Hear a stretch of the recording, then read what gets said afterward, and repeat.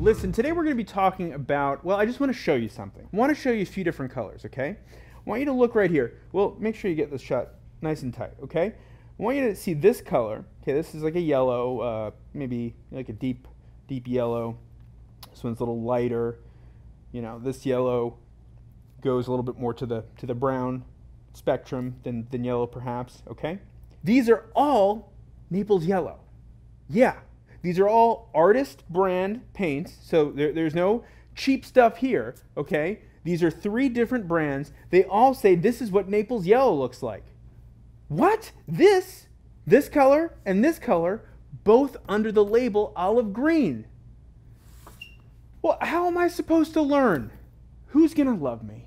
How is it possible? This is a problem. This is an artist problem. And if it isn't one, I'm making it one. Why don't my colors match? So the first thing I realized is that, okay, let's take your raw or burnt sienna. Those were based on the dirt in Siena. Now, I've actually been to Siena, or was it Vienna? Which, which is in Italy? Maybe I just ate a hot dog. I'm pretty sure that across the city of Siena, it wasn't even the same color because it's natural, it's imperfect, and it's perfect because it's imperfect. So I thought, okay, it's probably because of geographical location. You had the paint color there, then these different paint companies made different formulas, each a little different, and then I thought to myself, well, wait a second, some colors are a single pigment color. I needed to do some research and I needed help. Boy, do I need help. I called my buddy. Yeah, I do have one. I called my friend Marcello, who uh, owns Da Vinci Paint out in California, because I could not find the answer. I wanted to know why don't my paint colors match? He really had a very easy, simple answer. He says when you buy pigments, you get a bunch of manufacturers. There's not just one distributor of, of pigment,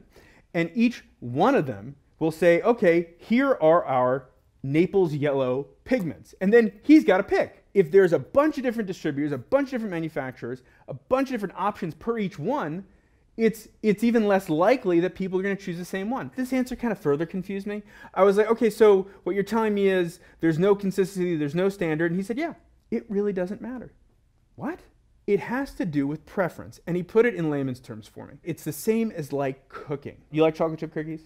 Okay, she does. Some bakers like to use brown sugar instead of white sugar. Some people like to add nuts to their chocolate chip cookies. It's literally the same thing with these recipes that go into them. As an artist, you get to make kind of an executive decision. What do you think looks the best? They're all going to work the same. Yeah, you might get some slight variations, but they're all going to work. These are all artist paints. So there's the preference of the manufacturer, the preference of the uh, of the paint, the preference of the artist, and these are all reasons that there's some inconsistencies. The other thing that Marcello told me, the art industry is really tiny. Okay, we really don't have that much say over anything. When it comes to buying pigments, it's not the art industry that dictates the availability. It's like the bigger businesses like house paints and stuff. If you, you know, find that there's less options, it's because there's less demand in the bigger industries out there. I had another question for him. I said, is this always the case? Like if I go and I start looking through all these colors, am I going to find that each one's going to drive me nuts? He said to me, certain colors are more likely to be consistent. So your cadmiums, cobalt blue, those colors are going to be